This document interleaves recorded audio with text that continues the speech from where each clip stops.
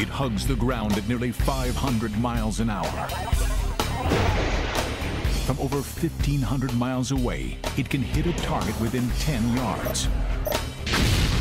It can seek out and destroy the enemy without a pilot. The missile is a crushing weapon of choice for today's battlefield.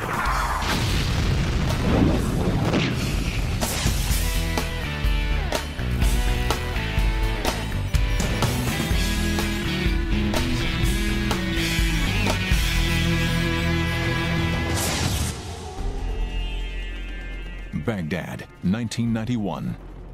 The Tomahawk has its baptism of fire. Wave after wave of cruise missiles hit their targets.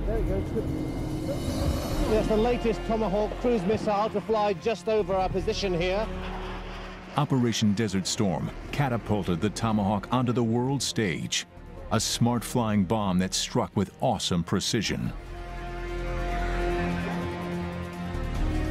But the cruise missile hasn't always been the general's silver bullet. It took engineers decades to get it right.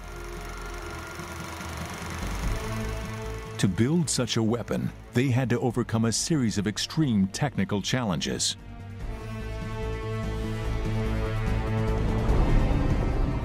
What does it take to push a 1.5 ton missile out of the ocean? Fly it at 550 miles an hour for 1,500 miles, dodging enemy radar, and then home in on its target to strike with deadly accuracy? Tell me when you think it's getting close. It's getting close. It's getting close. It's getting close.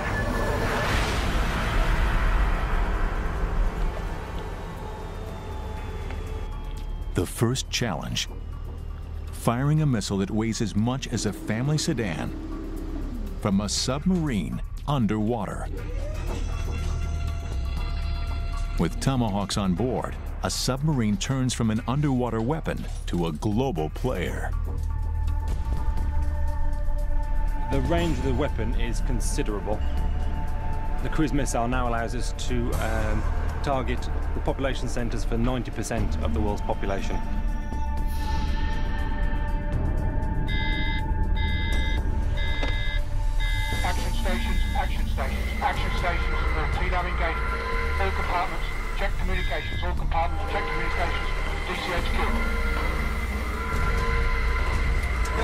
Captain FCO, Captain, the TLAM weapon system is in weapon one. Today, a sub can simply fire and forget, safely hidden beneath the ocean. Firing order will be one, two, three, then four tubes. Salvo duration will be six minutes. In the 1950s, the Navy could only fire missiles from the deck of submarines, an extremely awkward maneuver. To meet the fourth missile type, whose mission takes it from surface to surface, we go to sea to rendezvous with the submarine. The sub had to break cover and surface so the crew could fuel the missile and assemble launch equipment, leaving the sub exposed and vulnerable. The Navy desperately wanted to launch while the sub was underwater. But there was a problem. Firing a missile in a confined space creates an explosion so violent it rips a submarine apart.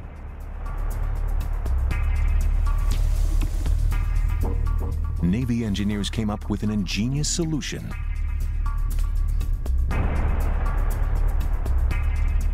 First, flush the missile out of the torpedo tube with a jet of water. Once outside, fire the missile's rocket engine clear of the submarine. Weapon system ready. Allow fire. This Allow is how they still launch the Tomahawk today. Execute initiated. Time of launch in five, four, three, two, one. Initiate execute.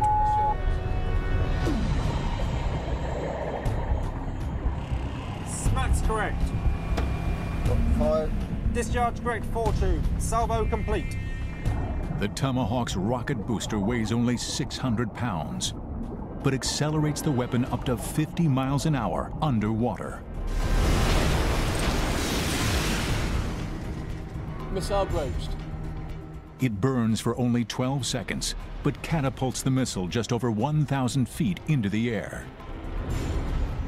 Booster separation. The Tomahawk's booster may look low-tech, but making this rocket engine safe enough for a submarine is a triumph of modern chemistry. Most rockets are powered by liquid fuel. Two different liquids are fed into a chamber where they ignite and drive the rocket. It's powerful, but dangerous. To show the hazards of liquid fuel, chemist Sidney Alford will replicate a German fuel recipe from World War II. He will inject two liquids, hydrogen peroxide and hydrazine, into a miniature rocket motor. Uh, please stop panicking if anyone is thinking of doing so. Here we go.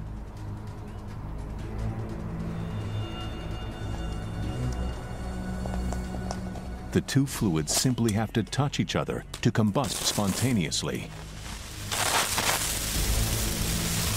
That, I think you'll agree, is a pretty violent, indeed explosive reaction. No particularly luminous flame, but uh, the sound alone indicates that it's very, very violent. I'm just going to wash my face slightly. I feel slightly squirted on the head. There we are. And Alford only used a few drops of each liquid. But the components are dangerous even before they are mixed. Each of them is uh, not a very nice chemical to have around in its own right. Hydrogen peroxide, if it's very concentrated, can actually detonate. If it gets spilt onto inflammable materials like cotton or paper, tends to set, catch fire spontaneously, not what you want in a submarine. For many in the Navy, the thought of putting liquid-fueled missiles on submarines was shocking. I've been told that the submarine captains blanched at the idea. They thought it was an awful idea. There was only one alternative, solid fuels, like gunpowder. They were safer, but far too weak to lift a large missile out of the ocean. Solid fuel needed a big boost. This challenge landed on the desks of Charles Henderson and Keith Rumbel. They had to find a chemical that made solid rocket motors burn hotter and create more thrust.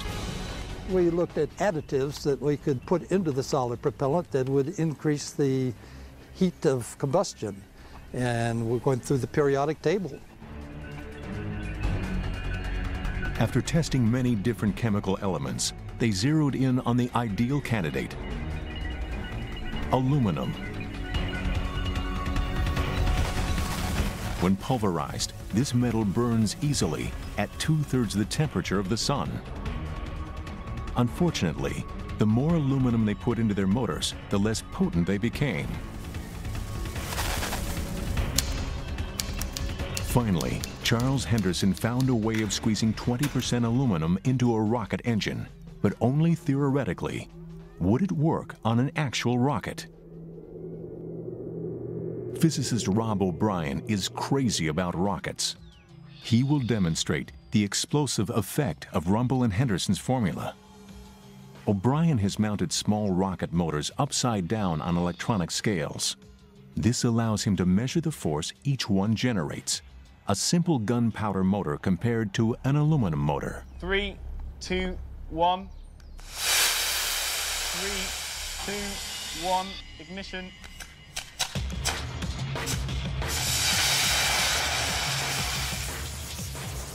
Gunpowder produces about one kilogram of thrust. The aluminum motor generates twice as much. Well, in terms of a, a rocket motor, if you want a, a high thrust, you want uh, you really want a, a high velocity uh, exhaust. So in order to get that, you would increase your temperature of the burn. And so putting aluminium in your mixture of the fuel increases the temperature. And if you increase the, the temperature of the burn, um, you can increase your thrust quite dramatically. Now O'Brien will put these motors to the ultimate test. He will strap them to one of his rockets. First, the gunpowder.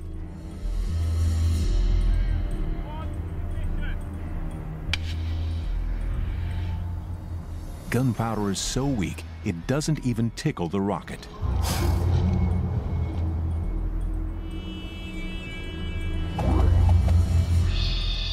Now, the aluminum.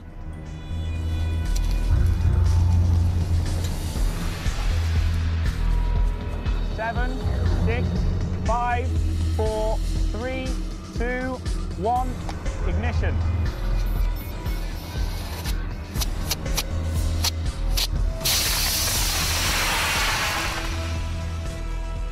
In the 1950s, Rumbel and Henderson's improved booster was a quantum leap in missile technology.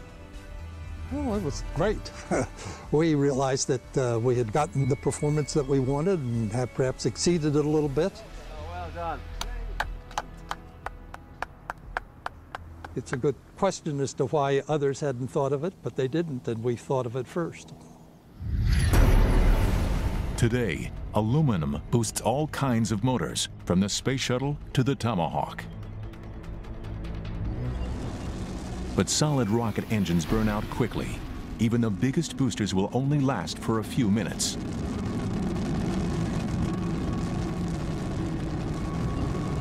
So how does the Tomahawk travel over 1,500 miles on a single tank of fuel? Find out when Megastructures returns. Now back to Megastructures.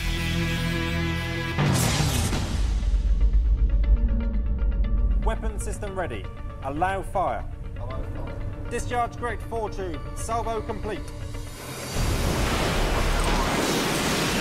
Missile broached. As it breaks out of the water, the Tomahawk starts an amazing transformation.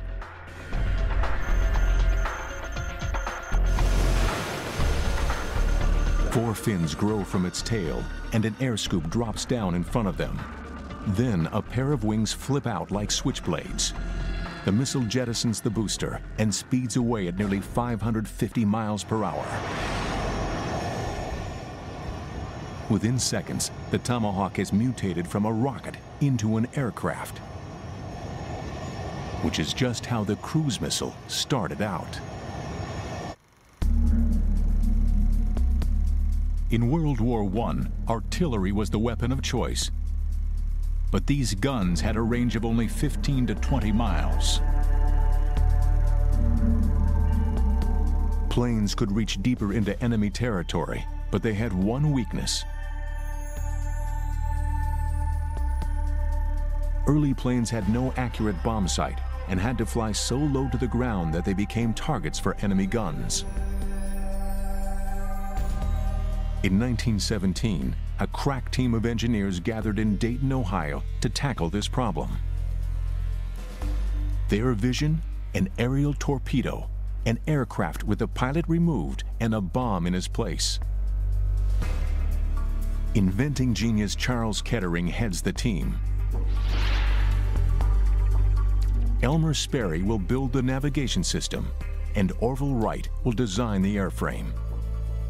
The very man who had put humans in airplanes would now work to get them out.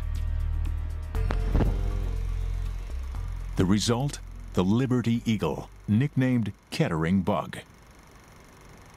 It was a cheap and disposable aircraft, assembled out of a box in four minutes using only a screwdriver and a wrench.